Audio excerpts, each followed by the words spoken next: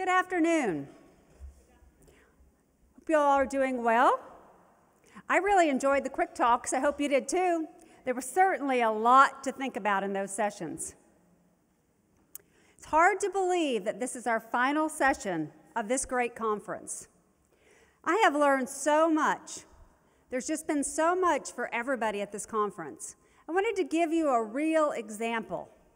I'm from the processors group, but yesterday I just broke out of my mold and decided to attend the sessions that were called Show It for the educators. And I went to the session on rapid hand washing. That was for school teachers. But I thought, wow, that's pretty cool. I could send that to my plant manager at a small plant. He listened to it and he sent me pictures this morning of his plant doing that. And the feedback was that the employees said, My hands feel cleaner, this was fun, and let's do this every day. And the plant manager said, We did it faster, saved time, and I hadn't told him that the idea wasn't saved water, but he figured that out himself.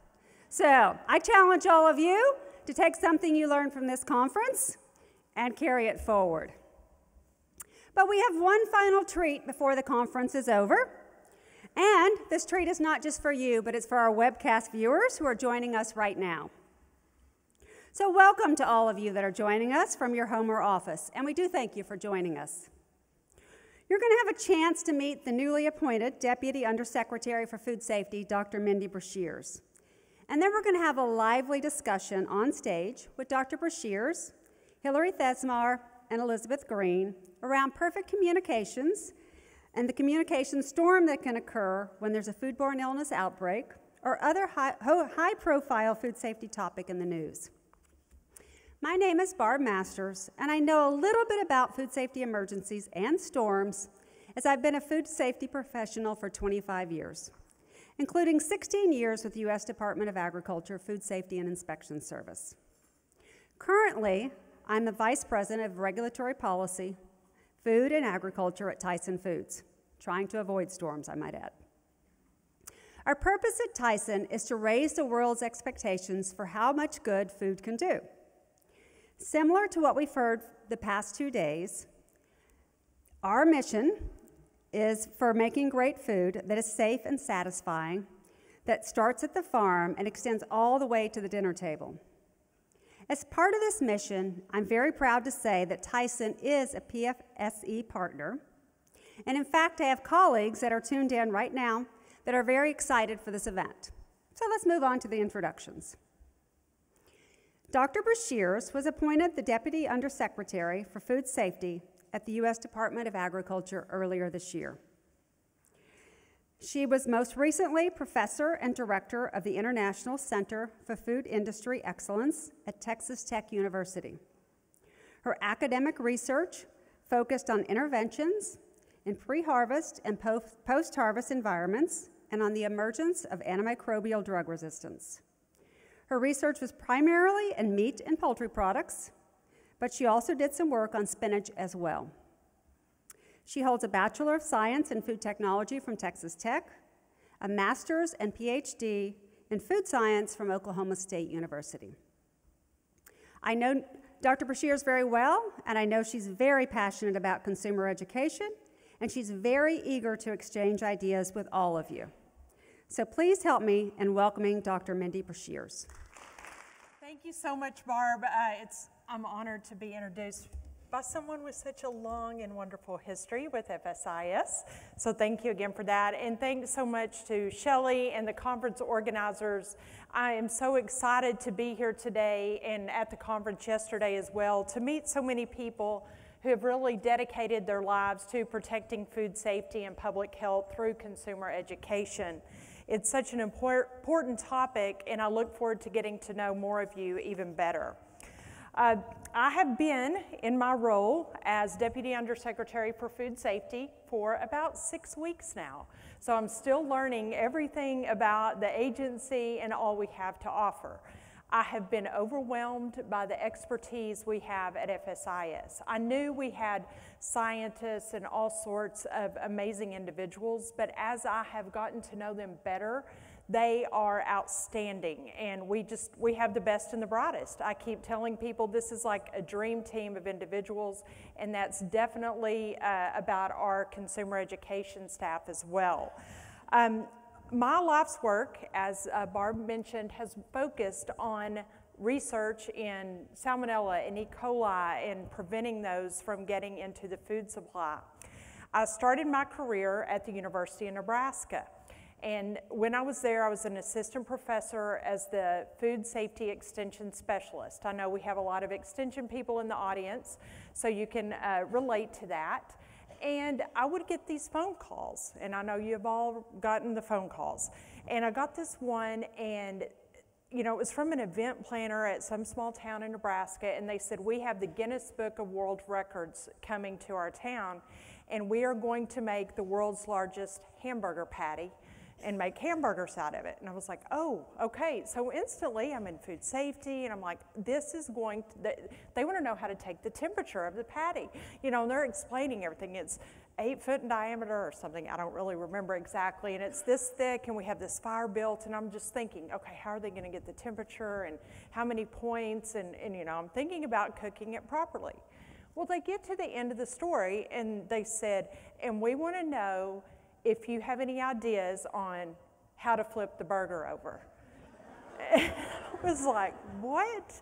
You know, so, but I think that that is kind of where we are with a lot of the consumers. You think, okay, they want to know how to flip the burger over, and we're trying to teach them about food safety. And so um, I think that's why I think consumer education is so important. So that brings us, oh, I, yeah. I need my slides. Sorry. And do I have a clicker to change the slides? Okay, go to the next slide. And the next. Is there a way to change the slides up here? Is this it? Oh, okay. Thank you. All right. So, consumer education. As I already said, I am very proud of the staff that I work with on the consumer education side. You've probably heard from some of them this week uh, presenting research or just interacting with them. They work, they work so hard on our consumer education efforts at FSIS. I'm uh, very excited. Not only do they provide information, but they're interacting and really trying to be proactive in what we do to make a difference with the consumer. One of those things that we are doing is we are partnering with RTI and North Carolina State University to conduct several years and several series of research studies. Now, FSIS is a regulatory branch. We are not a research arm of the USDA. However, we do have the ability to partner with other entities to get some of our research questions asked, and that's what we have done on the con consumer education side. And we're really focused on determining if we're impacting behavior. And so you can see um, on the top, we have completed some uh, observation studies to determine how the consumers are handling product, and then we will follow up with some focus group work as well as uh, web-based sampling. Now, you have heard some of this already about the data we have collected, but I really thought it was good to wrap up the conference with this to emphasize our findings again. Hand washing. Well, the news wasn't very good at all. 97% of our consumers improperly washed their hands. I mean, they either did not uh, wash them for long enough or dry them properly, and only I think about one third of them even attempted to wash them at proper times. So we have a long way to go to actually implement the behavior change in hand washing. Food thermometer use. This was not necessarily any better. Only 34% of our participants actually used the food thermometer, and of those, half of them did not use the thermometer or did not reach the proper temperature when they were preparing their food. Again, we have the message, we know how to do it, but it's not getting across to our consumer. And then we also observed cross contamination habits. While they were preparing food, 48%, almost half of them, contaminated their spice uh, containers. 11% of them contaminated their refrigerator handles, and 5% of them cross contaminated a salad that they prepared at the same time. So that's really a large number of consumers. Again, we know how to do this, but we need to get the message across to consumers. So USDA is being proactive and trying to apply some of these uh, results to actually make a difference, but also take it to another level to make sure that we can impart behavior change in the consumer. We have several things that we have going on. One is a media tour. The media tours happen uh, around the 4th of July. Thanksgiving, back to school. These are three areas where we found where there are a lot of food safety issues that occur. So we really uh, put out a lot of information during those times. I think this year we also had a pretty big push around the Super Bowl and handling foods at that time, chicken wings and different items to make sure that people prepared those properly. They are also, we're also preparing or presenting our work at conferences like today. You heard de- more details of some of our findings. There's really a lot of information we have out there uh, that we have found in these studies. And if you went to some of our sessions, you, you probably heard more about that. And we're also publishing in uh, peer reviewed food safety journals as well. FSIS also has a lot of resources, and I, I kind of think, well, everybody knows about this, but, but you may not know. And it's really important because you're the group of people who will be championing the information and taking it to the consumer. So I want you to be aware of what we have available. We have our uh, FoodKeeper app. And the FoodKeeper app was developed uh, with Cornell University, and it's an app that really tells you information about how to properly store food and, and the, the shelf life and all those different parameters. We have our meat and poultry hotline, which you already heard about briefly. Uh, that meat and poultry hotline is open from uh, 10 a.m. to 6 p.m. Eastern Time, and we have both English and Spanish speaking uh, technical experts that can provide information. And then we have Ask Karen. If you go to our website, you will see Ask Karen, and this is basically a database of all of our frequently asked questions that consumers can either put in online or on the app or wherever they are to, uh, to get their questions answered. So these resources are all available to you as consumer educators and to pass on to uh, your different uh, constituents so they can use them for food safety. So this brings us to our challenges and our next steps. Whenever I think about our message, we all, I think we take for granted you know, what we know and thinking that the consumer knows um, how to properly cook, how to properly chill and not cross contaminate, and all of those different things. And even today, whenever I was listening to the, the talks this morning, uh, I was reminded about washing chicken, and that's been a big deal within FSIS. So we talk about don't cross contaminate. We, we, we send that message, but I really feel we need to drill down into these messages and find out what exactly is the consumer doing? What is the, the incorrect behavior that could be cross contaminating?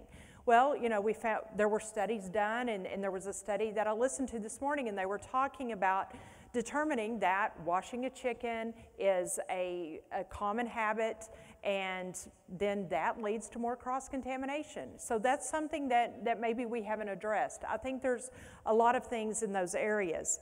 Uh, then I also heard about our chicken livers, and that was in one of the FSIS studies. Uh, I don't know that I've ever heard anyone recommend to use a thermometer to check the temperature of a chicken liver whenever you cook a chicken liver. And I don't know why I just haven't thought about that, but it's not something that comes to mind. So, are there other high risk items that we're not cooking properly that could be leading to foodborne illnesses? So, um, I've, I've, spoken to a lot of industry groups, and, and I know some of you in the room have heard me speak many times in the last six weeks, and Thank you for uh, enduring and persevering with me. I hope my message was a little different each time. But I've, I've been talking to the industry groups, and you know, you always hear the pushback of if our consumer would handle it properly, then we wouldn't get sick. But then I'm going back and challenging them saying, okay, what are you doing to educate the consumer? How, what do we need to do to change the behavior with this product? because the consumers don't know. We're educated, you're educated on your product. Let's gather data and information to know what we need to do in order to impart an actual change in behavior. And that's really what I want to challenge all of you with is to find ways not just to deliver the information, but to really impart behavior change. And I know that that's really been a theme across this conference. And over my time as uh, Deputy Undersecretary, I really want to champion our consumer education programs and come up with ways that actually impact food safety and public health. And so, with that, I'm going to wrap up. We have a vision statement that was set forth by Secretary Perdue at the USDA, and that is do right and feed everyone. And we've added just one word to that within FSIS do right and feed everyone safely. And with that, I will wrap up and we can start the panel. Thank you very much. I'm Hilary Thesmar. I'm with FMI, and I am um, going to be moderating, participating in this panel. We wanted to wrap up the day with some takeaway messages for you. So before I introduce Elizabeth, I want to mention your assignment for right now. There are little cards that are being handed out. Mary Kathleen and I think Shante are going to be handing these out. So this is how we're going to do the Q&A, but we have a specific question that we're asking you. So on these cards, and you can write your answer on the back, um, you can use another piece of paper if you want, but try to be brief and put it on the back.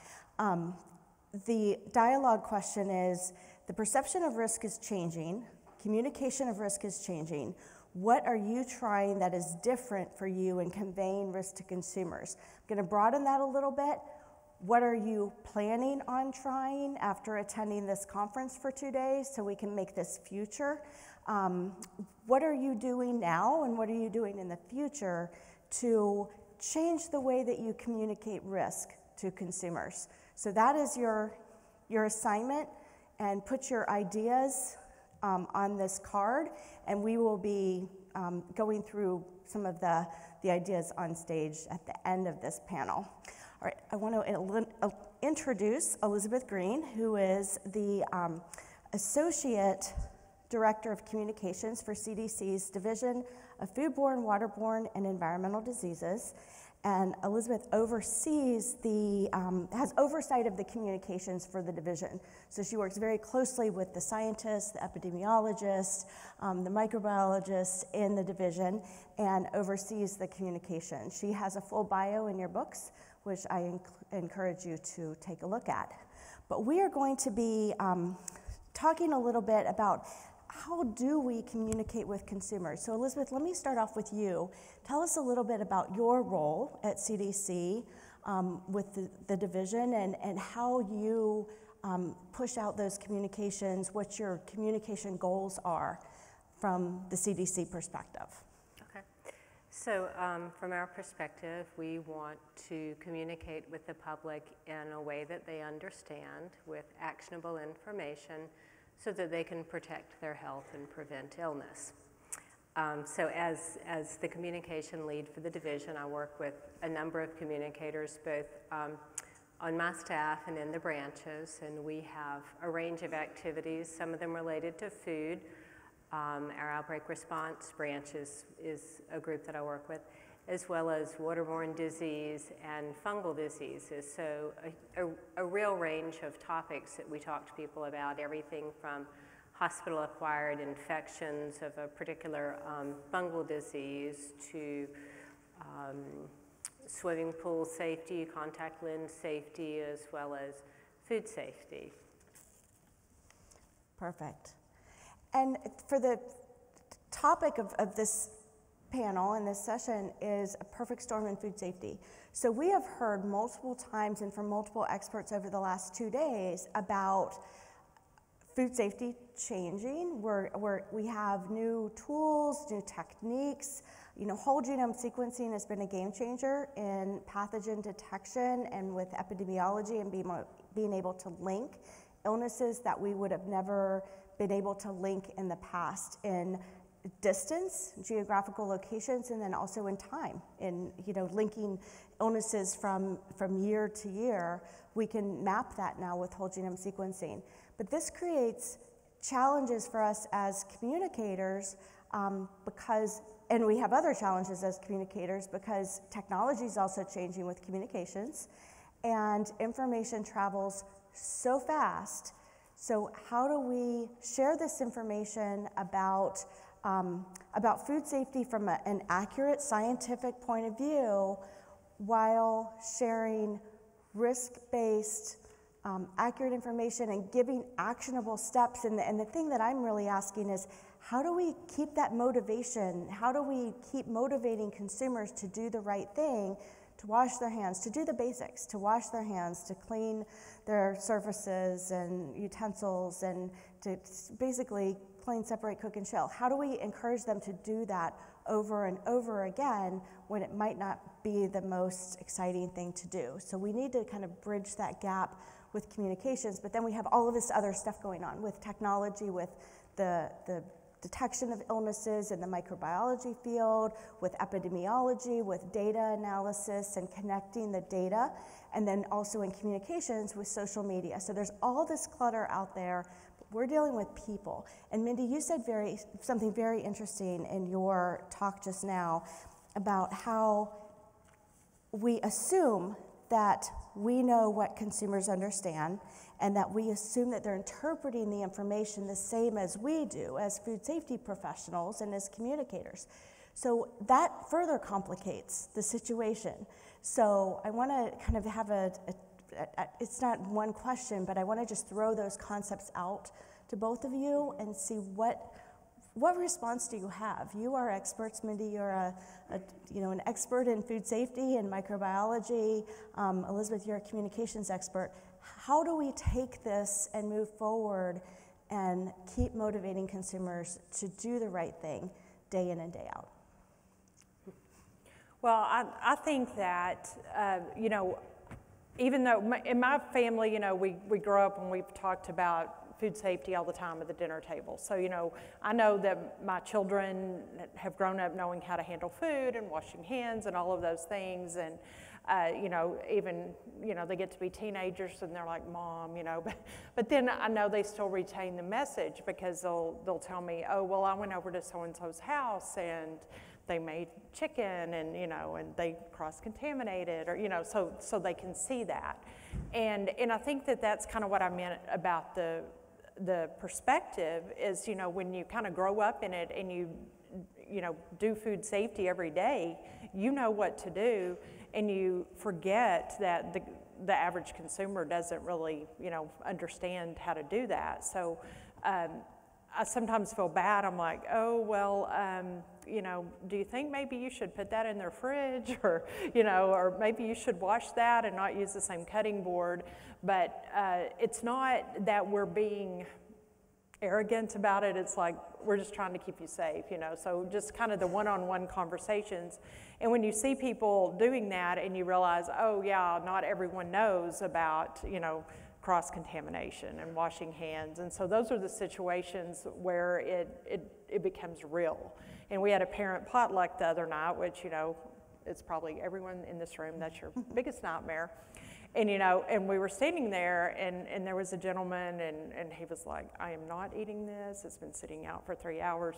And I was like, Oh, you're my best friend. And you know, but come to find out he owned restaurants, and that was even better. I'm like, Oh, you know, no food safety. So, you know, it's it's just a different way of thinking about it, and we need to find out how to relate to the, you know, the individual that isn't trained in food safety. So that's kind of what I meant by that answer. So.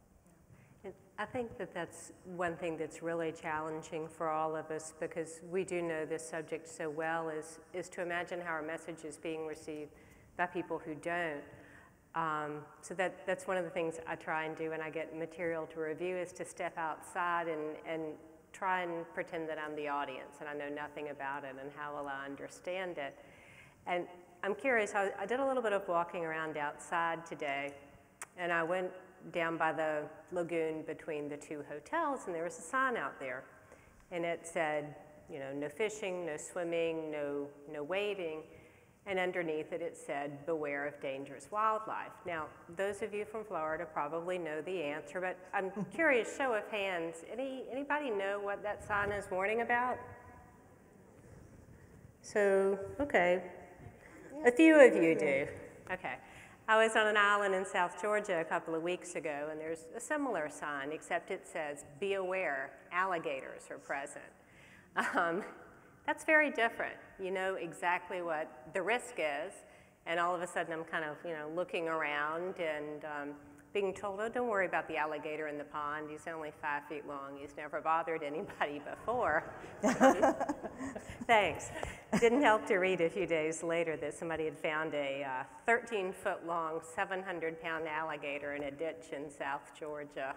Um, wow. but sometimes I, I wonder if, if the communications are as clear as they could be just because we assume the audience knows something that they don't. You know, it's perfectly obvious to us that we're warning about alligators, and to them, maybe we're not. Um, but part of, the, in addition to using as clear of a language as possible and really trying to step outside your knowledgeable self and look like somebody coming to the material without knowing about it would regard it, um, would, be, would be to consider how you're conveying the message and knowing that being a trusted source of information is going to make people a lot more likely to pay attention to your risk communication messages. And if you're not that trusted source or there are people you can work with who would be that trusted source, one thing we see a lot of when, say, a posting goes up about an outbreak and it's on social media, you know, we'll, we'll get comments on there from people who, um, you know, not my brand, or this is my favorite ice cream and it would never do this and I'm just going to keep eating it anyway. Um, but then you see a lot of people who are tagging their friends. And so those are your trusted messengers. Those are the people who are conveying the message. And if it shows up in your Facebook feed and it's from your friend instead of maybe from an agency that you're not so sure you want to hear from, that, that gives it more weight with people. Um, so that, that's one of the ways we think is, is helpful to approach um, using social media, but also knowing who your audience is and using the best channels to reach that audience. So there were a couple of things that, that you mentioned, Elizabeth, that I want to follow up on. And one is that trusted source of information. And then also, I heard very clearly you have to be very specific with your language. Mm-hmm. And what we always ask for at FMI, whenever we're, we're talking about consumer messaging, is to test the messages 1st mm-hmm. But I want to talk about both of those aspects because there's that trust, there's that connection with the person or the audience that. Um, that kind of, um, you know, are you, are you a, a, trusted source, but do you have a, a, a some kind of connection. I don't want to say emotional connection, but do you have a connection? Do you connect with them in some way? And then the information. It, are both equally important, or would you say that that one outweighs the other? Because as a scientist, I can tell you it's very frustrating to me that if we just tell people accurate scientific information, it's not enough. It, it has not been enough that um, has failed us. We've seen it over decades. Um, just giving them scientifically accurate information has not been enough. So I, the trust has to be there. How do we do both? And I think this audience is perfectly positioned to provide both of those um, qualities in the communications that they push out around food safety education. Yeah, and I would say first with, with trust, one of the things to look at is really being a credible source of information. Um, so that means every piece of information that comes out from you or your agency, you have to feel you know, that it's accurate, that it is conveying the appropriate amount of risk to people, um, and, and to maintain that trust and to build that over time. And that, that isn't necessarily an easy thing to do, as we know. There is a lack of trust in a lot of institutions these days. Mm-hmm. And Mindy, you can go back to your days at Texas Tech. I don't want to put you on the spot for yeah. USDA since it's been such a short time. Yeah. But have you found that, that one outweighs the other or both equally as important to have that trust plus the quality and, and accuracy of the information that you're conveying? Well, I think it's they're both important, but I really think, I mean, from my experience, it's you know really more if if they know you personally. Okay. I mean, I, the trust factor is is really important because uh, I think, uh, you know, I'll tell someone something, you know, oh hey, this, you know, cook it to this temperature, or don't let something sit out on the counter, and they'll say, oh, but on, you know Dr. Phil or whatever, I don't, you know, whatever it is, they said, don't do, you know, do it this way. And you have the accurate information, but, uh, you know, and I'm talking about a random person. Mm-hmm. But then if it's someone close to you, then they'll call and say, oh, hey, I know you know this. And I get those kind of questions on Facebook all the time, you know, like a, on a private message, or like, oh, somebody told me that this was, you know, bad or, you know, cook your turkey in the dishwasher or whatever. you know, you, I know y'all all hear those things, and I'm like, no, that's not okay. You know, so they'll they'll follow up with me because they have a personal relationship. So I think it, the trust is really big in making sure that the message comes across and, and they believe you. And then, you know, long term, if if it plays out to be true, then that also helps as well. Mm-hmm. Okay. And Elizabeth, you also mentioned something else that I want to go back to, and that's that aspect of everyone or every group seems to think that they're, they're special in some way or they're an exception to the rule or their followers are an exception and they don't have to do the basics. They don't have to tell people the basics. They don't have to follow the rules, basically. Um, so, uh, how can we as, as food safety educators manage that, communicate that, that, you know, when it comes to washing your hands, everybody has to do it and by telling people to wash their hands, it should never be portrayed as be portrayed as, a, as an insult. It should never be taken as an insult. It's always it's just basic stuff that you know if someone tells you to wash your hands, you go and do it. Um, but n- no one's exempt from following appropriate food safety advice. How do we convey that? I don't have the answer, mm-hmm. but how do we convey that? Because we've heard that over the last two days. Um, and you mentioned it in, in your summary just a couple minutes ago. How do we get that across to people that you do have to follow, you know, appropriate advice, you do have to follow the rules? or you're at risk, you're at a higher risk. Right, yeah.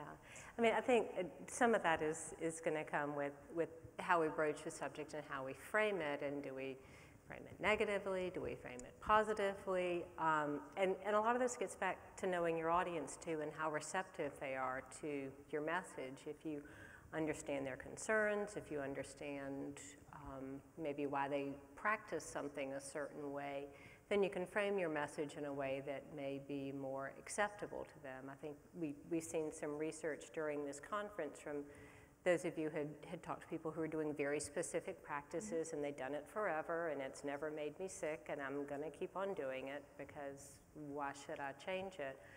Um, finding a, a good way to let them know that they're at risk either because of a change in their circumstance, um, a change in the risk factor of that food um, can be a way to get their attention. Um, just simply telling them do it because I say so is, you know, you're not you're not going to get worked. anywhere with that. Exactly. Yeah, or, I think you made a great point over lunch. You were telling me about when you have when people have a life change and there's a mm-hmm. teachable moment, and I think mm-hmm. that was just a great piece of insight about there's some times in people's lives where they're more receptive to receiving information and and getting a grasp of that, I think that would be, I think that's a great idea. Yeah, and, and I think there were some presentations earlier on life stages looking at um, when people were older, uh, parents of young children. Um, those, those are all good, significant life change times when people's habits change, and it's a good time to approach them about developing new habits. Mm-hmm. Um, if you look at how um, corporate marketers work, they do choose those points to introduce their product or establish brand loyalty or to try to change brand loyalty because they know those are critical times for people to change behavior patterns and buying behaviors. All excellent points. Um, how has social media played into this? I mean, we, we use it as a tool, we use it to share information, but we've also seen it used in negative ways.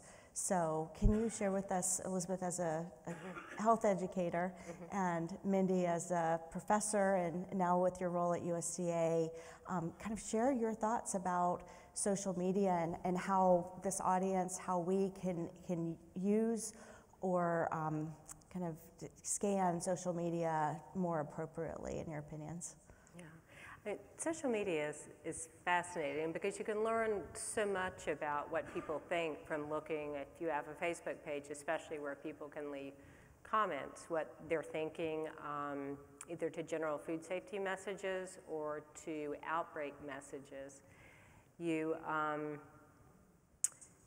can also see how misinformation is shared. I, um, some, some years back, I managed um, some social media messages relating to vaccination, and you can imagine just what kind of, kind of discussions there were on social media about that. Um, I think it, it's a great platform for getting your message out. It's not the best platform to reach everybody, and that goes back again to knowing who you're trying to reach. Yes, a, a huge majority of the US population is on Facebook, but it varies with age. And what we're seeing is that younger people, especially, that's not the platform they're on. Um, I have um, teenagers as well.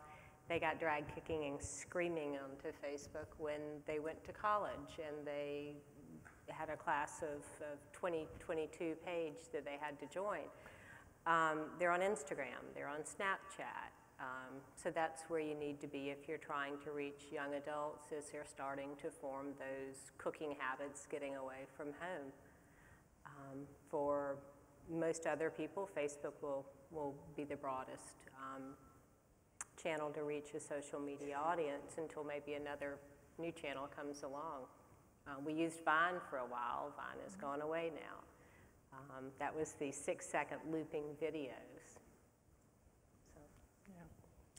Well, I, I, I, think that Facebook and, and these other uh, entities uh, are very important for sharing information. Um, and you know, I'll, I'll use it to share an outbreak or you know that uh, or some story that's credible, and, and you you you maintain your own personal reputation.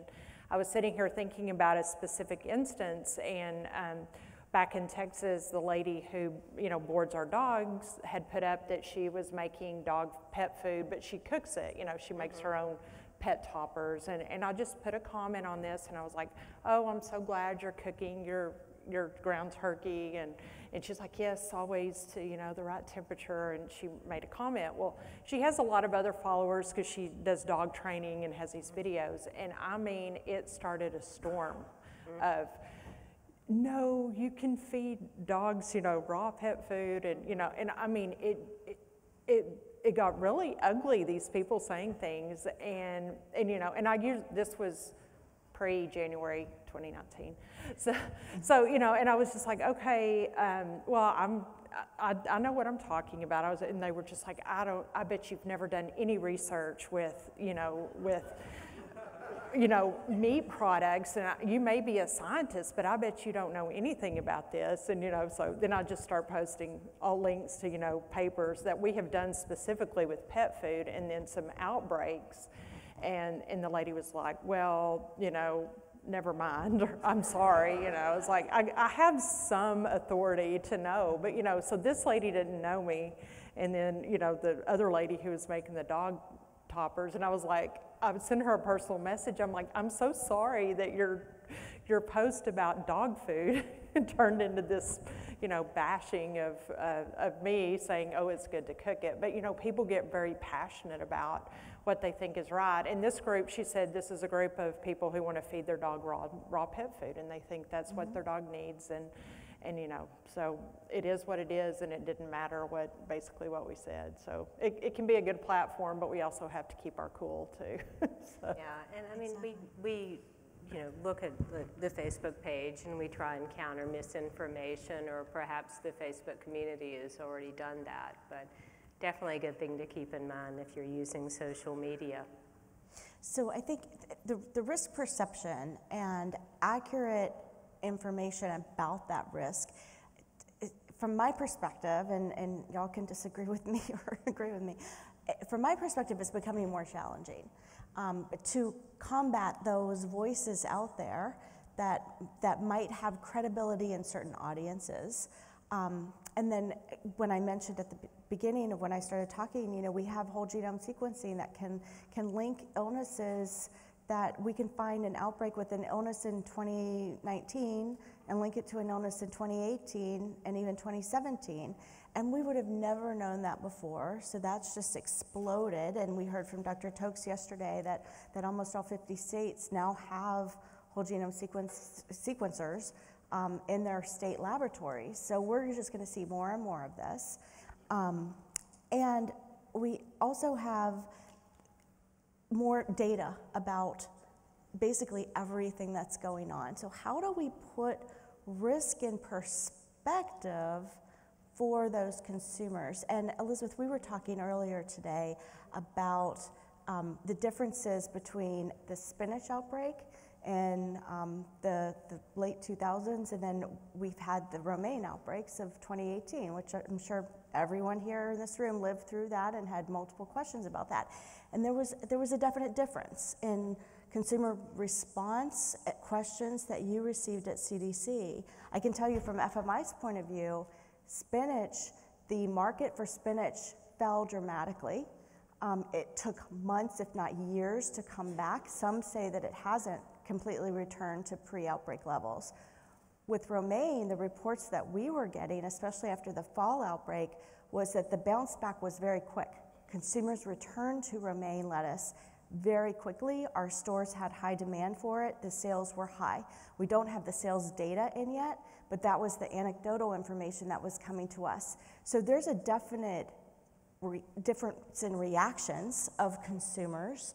Mm-hmm. Um, and you, you noticed with CDC the questions that you received were, were different. And there were, there were more, you said there were more questions when there was less certainty and fewer questions when your messages were more specific and more certain. Yes, and that was just over the course of the various um, E. coli, romaine, and leafy greens mm-hmm. outbreaks last year. So not um, talking about reaction during the spinach, spinach outbreak, right. which was before my time there. Okay. Um, I think one thing that I, I, wanted to bring up was that reported foodborne outbreaks like these um, account for maybe 1% of all foodborne illness. And, and that's a real challenge with conveying risk effectively to consumers because there's the immediate risk of the food that's causing the outbreak that we want to give them very specific product action to take with it. But there's the continuing everyday risks. And if you, you look at studies of risk communication and when consumers are likely to decide there's less risk, and you look at the factors involved with that, it's something familiar, it's something that they feel like they have some control over or that somebody can control. It is um, something that is chronic, it's kind of everywhere, and, you know, food. Mm-hmm. Um, whereas the other part of that, when people do perceive themselves to be more at risk, it's an acute event. Um, there's a more perceived, you know, seriousness. There can be fatalities associated with that, and of course, we know there are with foodborne illness. But I think the public is still very likely just to think of it as an uncomfortable two or three days. Um, and not take it as seriously, say, as they might some other diseases. So You've got, as far as risk communication goes, it's, it's a little bit tougher to get them to pay attention for the day in, day out messages mm-hmm. than it is to an outbreak message because there is a higher perception of risk. Um, at the same time, if we look at what consumers do when they come to our web pages and we look at data, um, I, I think the ones that tell them they're at higher risk when it's a ready to eat food um, and perhaps a food that's not often associated with illness, we see a good bit more web traffic to those than when it is a food that they might already associate with an increased risk of illness. Okay. Um, so I, I, I, do think a lot of our messages are getting across. There, there are certainly a lot of people who aren't doing things that we want them to do, but um, there, there are people who understand that they may be more likely to get a foodborne illness, say, from a raw protein food that's mishandled than a carton of ice cream, by and large, you know.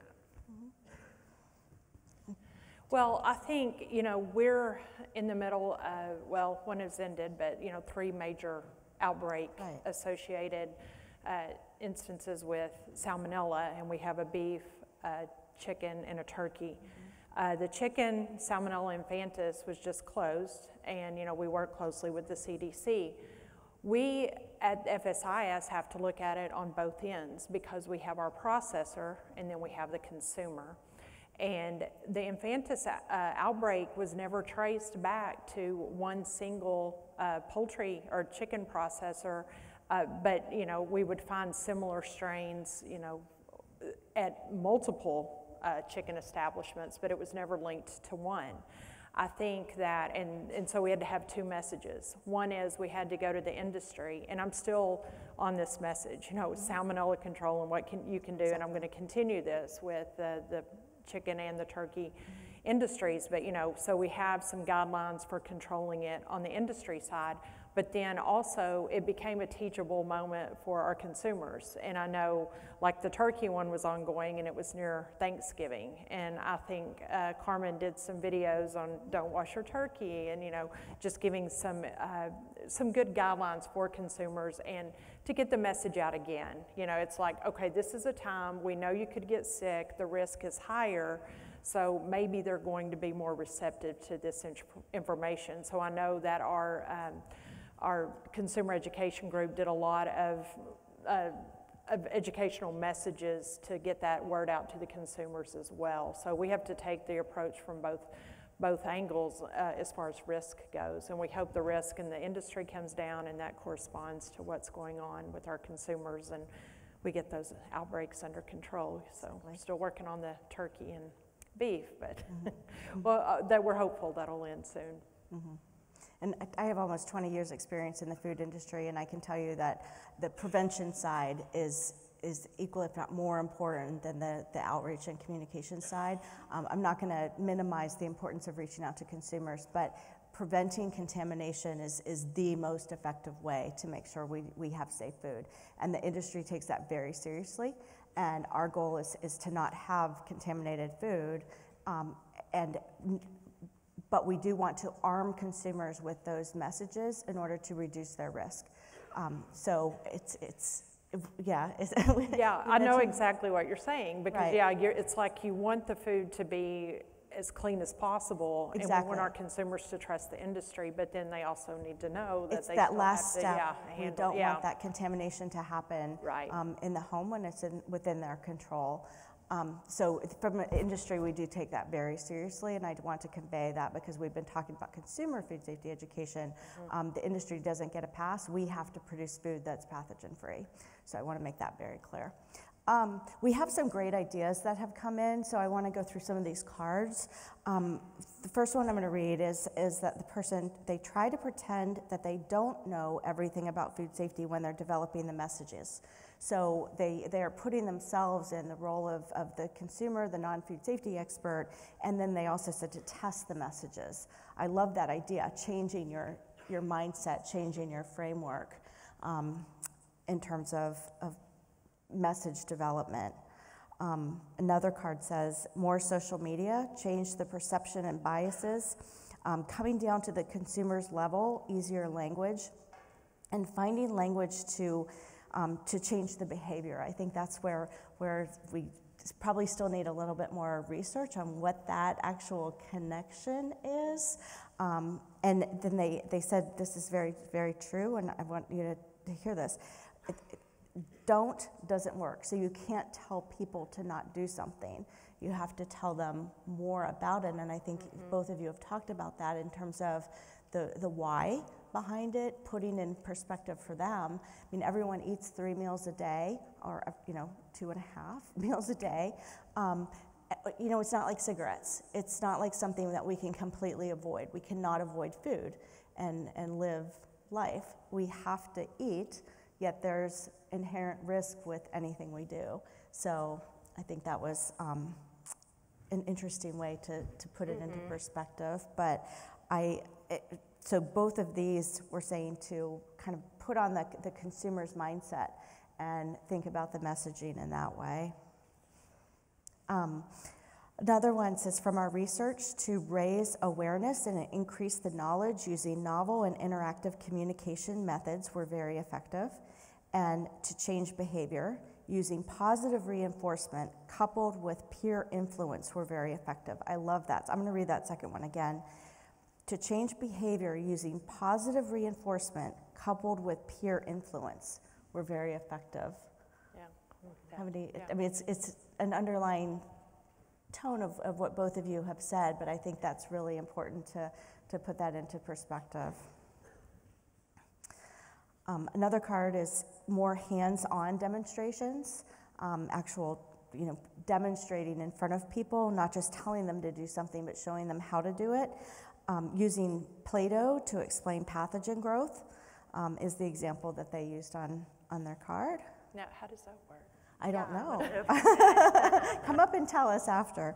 Um, create companion media to, sup- to supplement our current in use um, text using the guidance documents. So basically, um, companion media to, to text and um, the guidance documents. I'm not sure I understand that one, but um, I think it's maybe a, a, another document to go along with the technical document, perhaps, but a companion media tool um, to supplement is Yeah, how I'm interpreting yeah, that? yeah. Um, another one is negotiating more plain talked and focused messaging with subject matter experts. Um, so that worked. And they specifically call out the Don't Wing It campaign. Um, that was a campaign, the, the partnership was involved. Um, Dr. Godwin, who spoke yesterday, um, was one of the PIs on that, and that was um, based on research, but it was also very simple language. So more plain talked, plain talk in, in the messaging. So connecting with that consumer. Um, and I will encourage consumer and or stakeholders related to e-commerce and or meal kits to follow new guidance on food safety practices when using these services. Look at safety um, on TV chef recipes. So that's what, what this um, ideal is, is about. And I think we learned a lot from Dr. Schaffner just a few minutes ago about the, um, the broad spectrum and, and what I, I really liked about Dr. Schaffner's talk was that it's, it's e-commerce is changing dramatically. There are new forms, so we need to be very open to this. I know this is something USDA has been working on. I don't know if CDC has tackled this issue yet about kind of the new business models and how do we communicate that or do we bring it back down into the basics? Do we put it in perspective of the basics?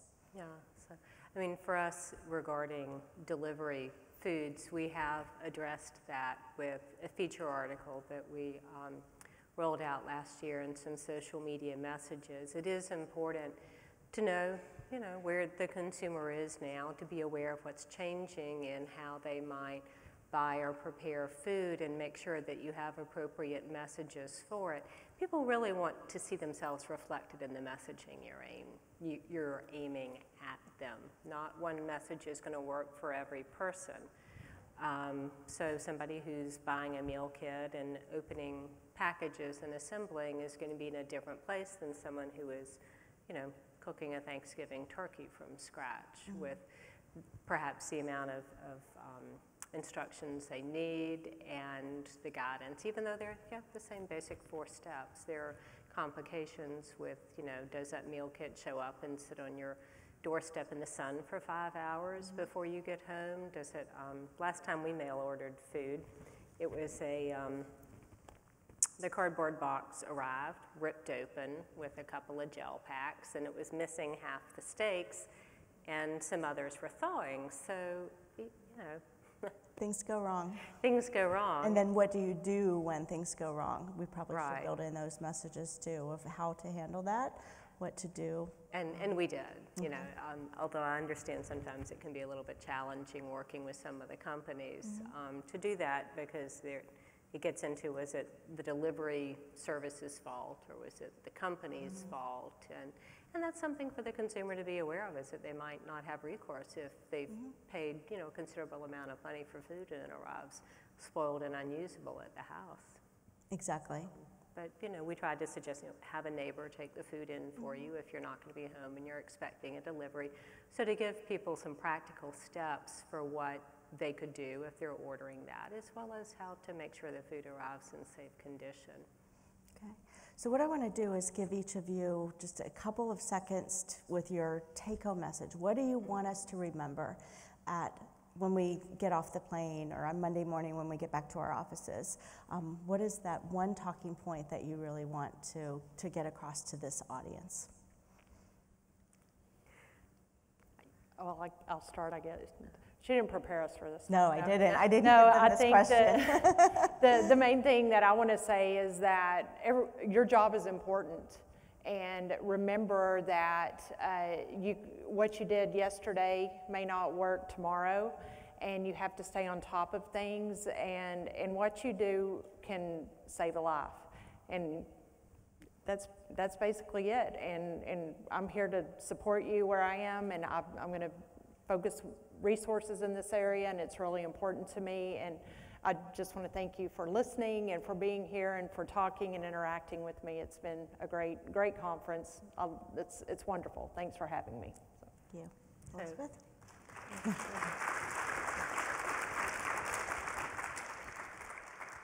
So I would say I think you guys are already doing a great job. Just keep doing it. Um, the fact that you're coming to conferences like this, you're doing research, you're sharing knowledge with others, you're learning new things. It's just such a, a, a great way to go back and really bring new ideas to what you're doing. Um, but at the same time, try stepping out of, out of your informed self or giving someone else to get you perspective on what you've been doing. Um, talk to your audiences when you can find them out, informal conversations in grocery stores or restaurants or wherever you work with people about what they know and what they don't know, and try and use that as a sounding board for how your messages are getting across. And, um, you know, could they be easier to understand? Could they be plainer? Um, are they giving the audience what they need in the way of food safety education, you know, where their knowledge gaps are? Those are excellent points. I'd like to thank Dr. Brashears and Elizabeth Greene for, for joining us for this last session. And um, thank you very much. This has been very, very informative.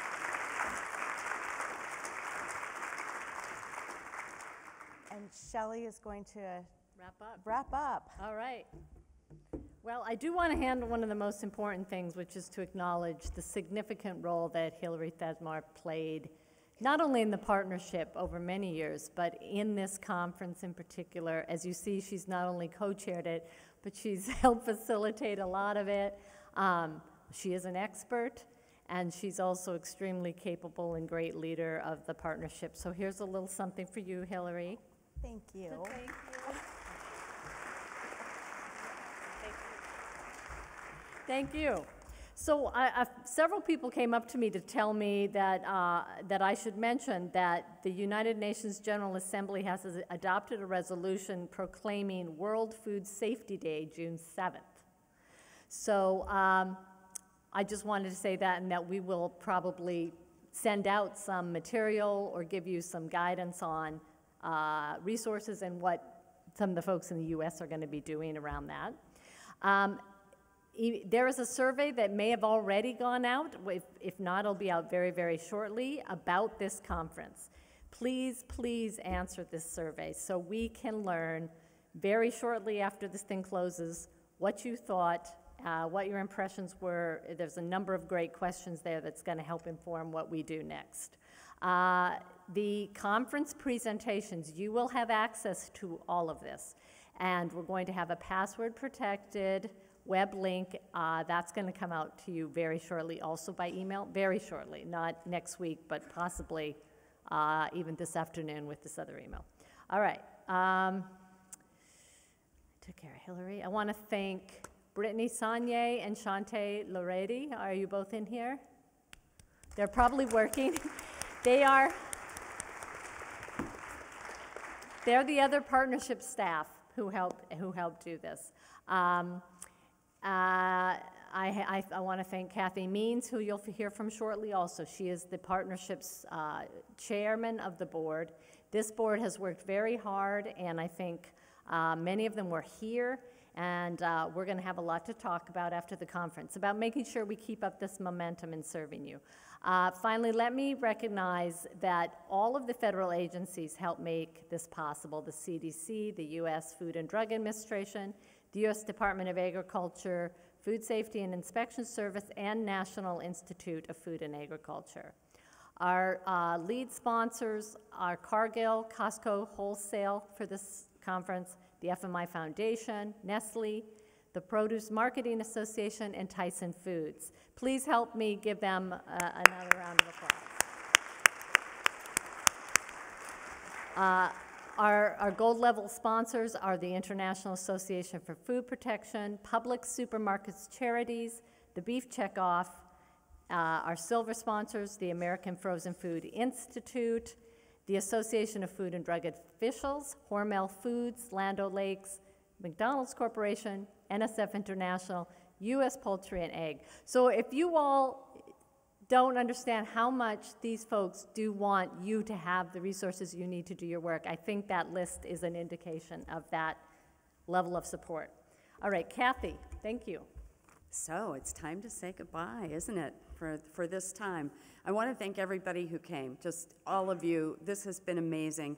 But I especially want to thank uh, the Board of Directors, the Program and Conference Planning Committee, the sponsors and partners, the presenters, the poster session people, and especially to Shelley, the staff, and Mary Kathleen and her staff uh, for making this all happen and seeming like it just doesn't take anything. Uh, all of us who are involved in conferences know it takes a lot to put on a conference like this, and so thank you, Shelley, and everybody who worked with you to make this happen.